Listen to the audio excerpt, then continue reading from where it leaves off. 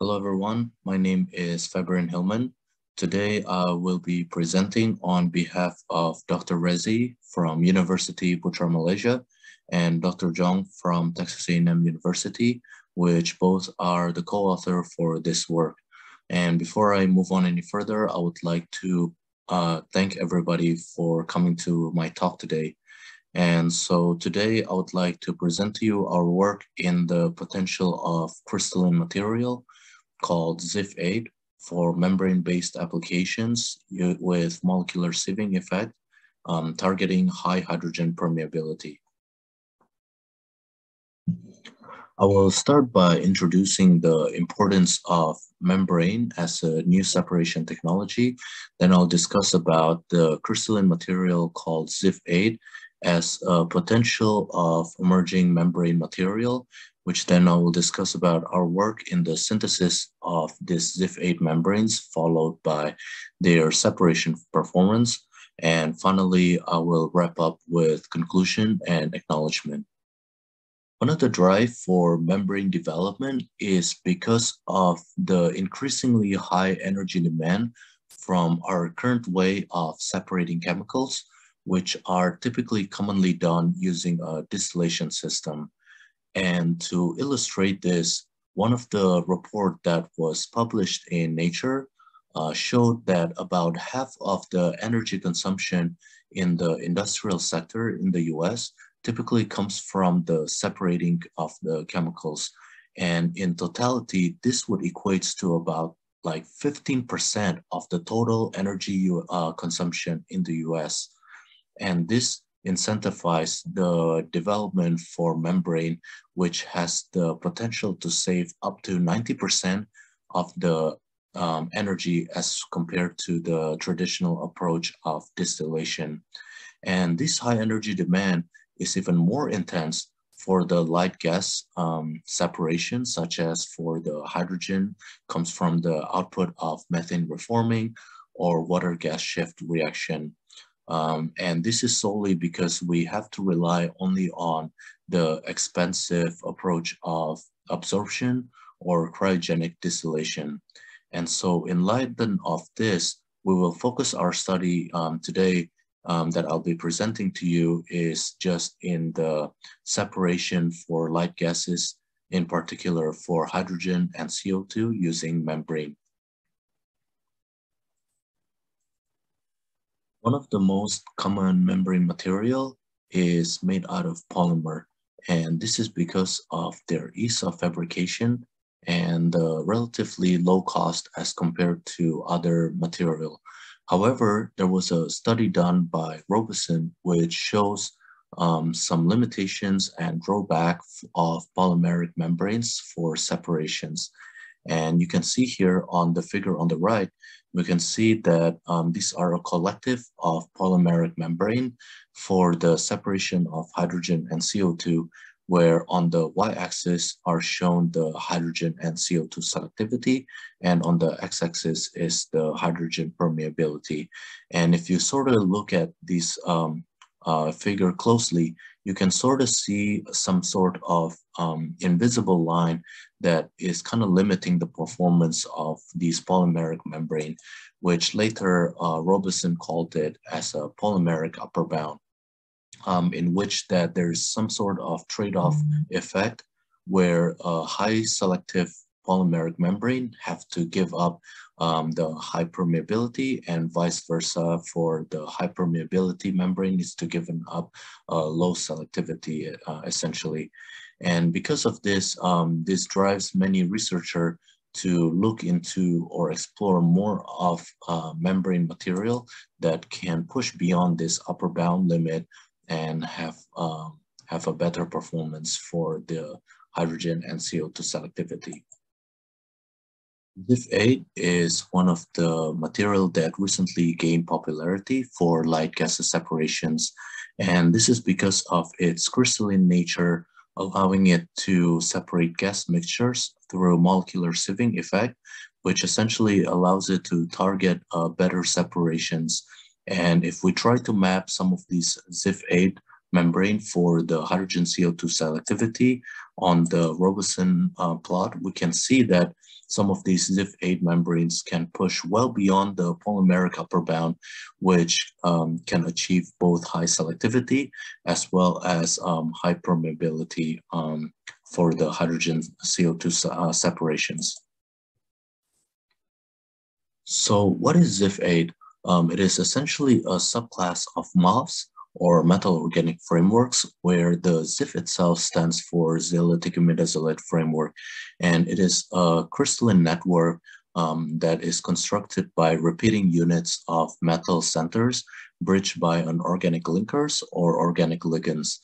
And the ZIF itself has a unique feature where their arrangement are similar to those of zeolite, and it also has an attractive features where their chemical and thermal stability are actually higher as compared to a lot of their counterpart of MOFs.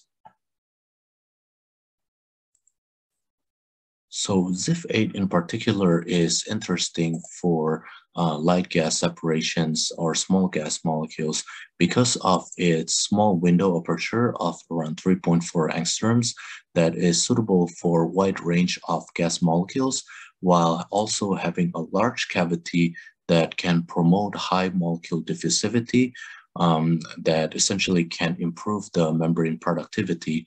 And if you see the figure on the right, we can see that the window aperture of the ZIF8 falls kind of like at the borderline of the CO2, which can hold back a lot of those CO2 while still allowing most of the hydrogen to penetrate the membrane network of the ZIF8.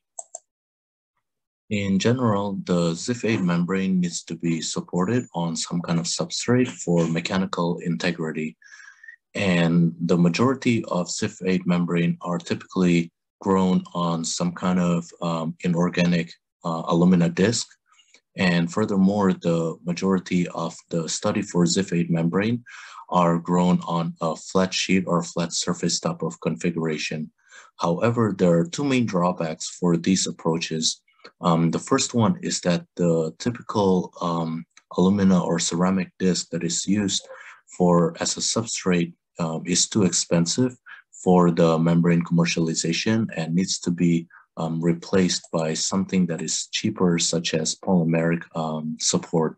And the second one, in order to achieve the highest and most efficient uh, membrane packing density in a module, we have to choose a new type of configuration, such as hollow fiber, as compared to using something like flat sheet or flat surface type of configuration. So there have already been few works where ZIF8 are grown on a polymeric hollow fiber. For example, Cacho Bailo et al. have attempted to grow ZIF8 on the polysulfone hollow fiber support for hydrogen CO2 separation. However, their performance of the membrane fell short of the polymeric upper bound, which defeats the purpose of using ZIF8.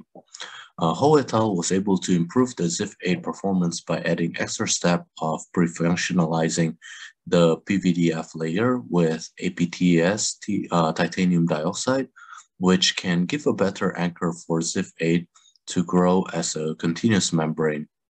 Uh, however, this extra step is not that ideal for commercialization purpose as the use of APTS would not be that environmental friendly. Um, it is important to highlight also that these two works are synthesized through an in situ method, which oftentimes have some reproducibility issue.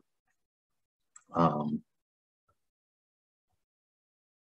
so based on these studies, we designed a simple secondary growth synthesis for ZIF8 membranes on polymeric support that are much more reproducible for hydrogen CO2 separation and in this work, we'll be using a PVDF, a commercially available ultrafiltration membrane, because they're cheap and inexpensive, um, allowing our method to be easily scaled up.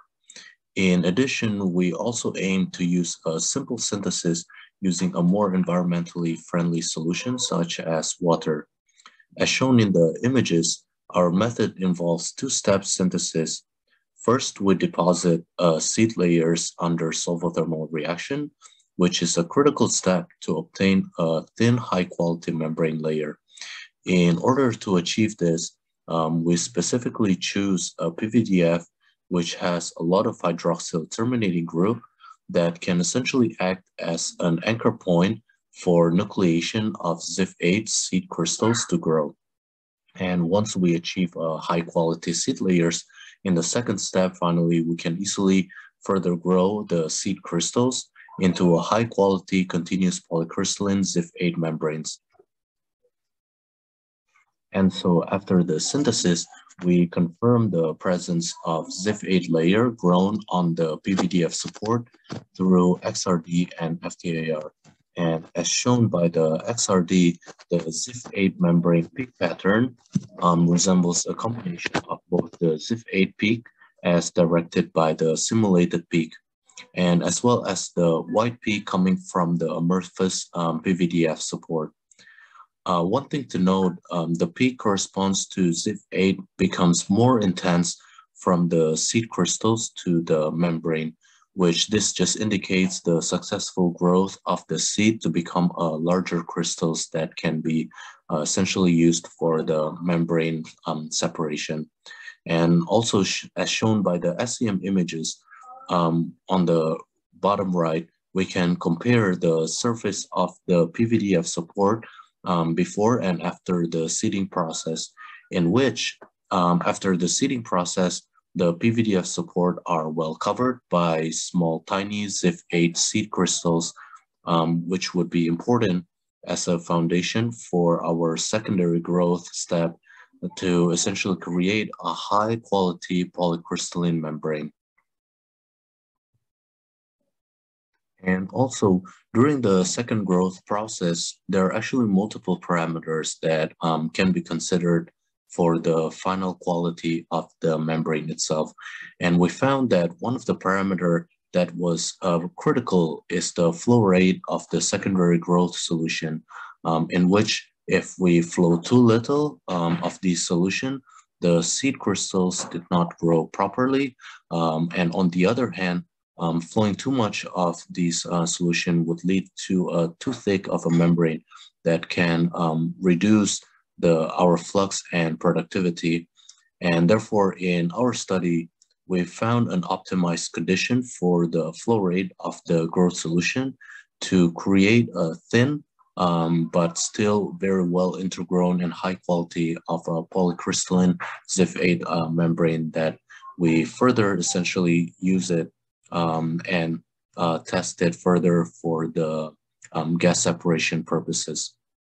Um, so uh, in here, we try to test our ZIF8 membrane on very small gases, um, such as hydrogen, uh, CO2, nitrogen, methane, propylene, and propane.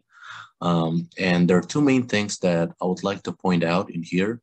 Um, the first thing is that um, our ZIF8 membrane showed a separation factor higher than that of the Knudsen selectivity. And this indicates that the ZIF8 layer that um, we synthesized for our membrane um, is of a high quality and separates gases based on molecular sieving as opposed to uh, through the Knudsen diffusion type of process. Um, and the second that uh, is that if we compare our membrane performance um, with other um, published work, um, as shown on the right, we can see a well comparison of um, our ZIF8 membrane performance where the permeance of each of the gas tested um, goes down as the gas molecule size increases at the improvement of the separation factor as well. And when comparing our membrane with other ZIF8 membrane, for the hydrogen CO2 separation, we can see that our membrane is first performing well beyond the upper limit of the Robeson line. And second, our membrane also performs comparably um, as compared to other high quality of the ZIF8 membrane that are also above the um, Robeson plot, uh, Robeson line. Um, and one thing to point out is that due to the fact that our ZIF8 was grown through a robust seeding step, followed by this facile secondary growth, we're able to easily reproduce um, these membranes with the high quality.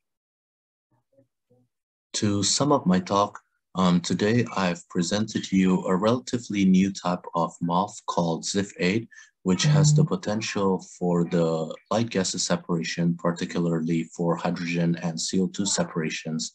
Um, and I've also discussed some of the limitation for this ZIF8 membrane material um, as a commercialization purposes, uh, which we attempted to tackle them through our approach of robust and facile secondary growth synthesis of this ZIF8 membrane on a relatively um, and commercially cheap available polymeric support such as PVDF, um, while also having a high reproducibility performance. And furthermore, we were able to also have a ZIF8 membrane with high quality that can perform, uh, among other uh, published work of the ZIF8 membrane with high quality as well. And finally, I would like to uh, thank my advisor, Dr. Zhang, along with um, our uh, my lab mate um, that have supported this work, and along with all these funding agencies that um, also support this work as well. And finally, I would like to thank all of you for listening to my talk, and I'd be more than happy to take any questions.